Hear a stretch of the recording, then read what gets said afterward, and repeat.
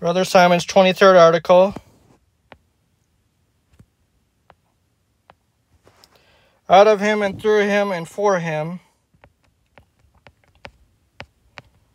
When atheists imagine the Christian God, they see in their minds I, an angry and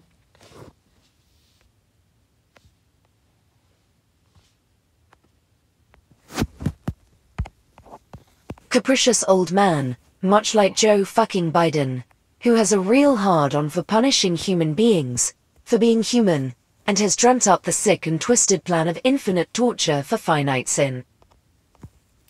No wonder atheists don't believe in God. Who would want to believe in such a wicked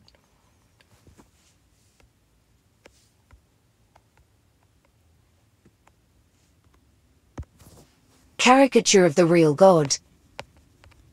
Thing is, they never heard about the real God.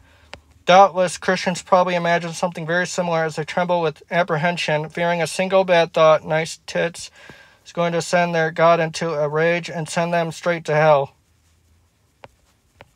I mean, seriously, am and am I being goddamn serious here? How the hell does a Christian reconcile a loving God with the God who also tortures the majority of his creation for not believing in him? Why would a wise and loving God create flawed beings, then give them the free will to sort out their lives and do everything right to get saved, knowing full well most of them would fail miserably? Give me a break, you and Miss, Mr. and Mrs. Born Again. Don't know the real God? First off, as Paul the apostle of the nations tells us in Colossians 1:15, Christ is the image of the invisible God. Get that? Invisible you can't see God. He is spirit, which is one reason he created his son, so us mere mortals would be able to appreciate who God is through his perfect image, Jesus Christ, who gave up his life to save to save sinners. First Timothy 1:15 that was the ultimate act of love and as Jesus explained in John 14:9 he who has seen me has seen the Father. You follow like father like son. They, however, are not the same being, and I thoroughly re- rebuked, rebu-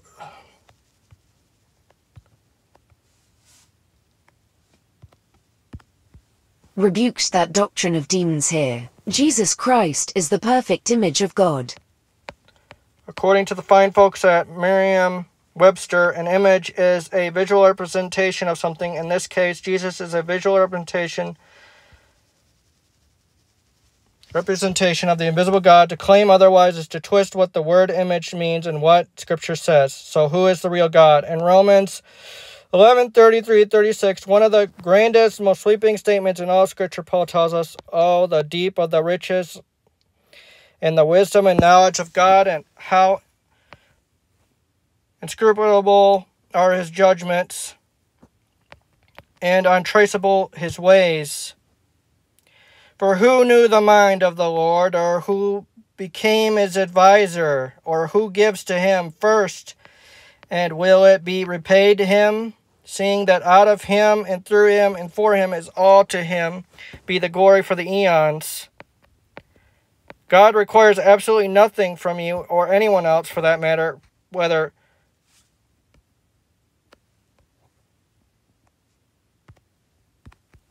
terrestrial or celestial, no one advises him. No one has given him anything he didn't already have.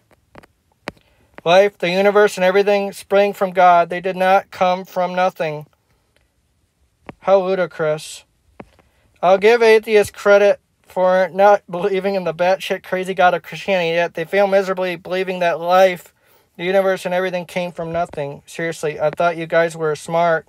We're so smart. Guess you are only Smart, smart. Everything is out of God, including good and evil. Isaiah 45 7. He is the source of all. Everything is through him, and he is the channel of all. Everything is for him. He is the object of all. This is the real God who wills that all mankind be saved and come into the realization of the truth. 1 Timothy 2 4. And what God wills, God gets.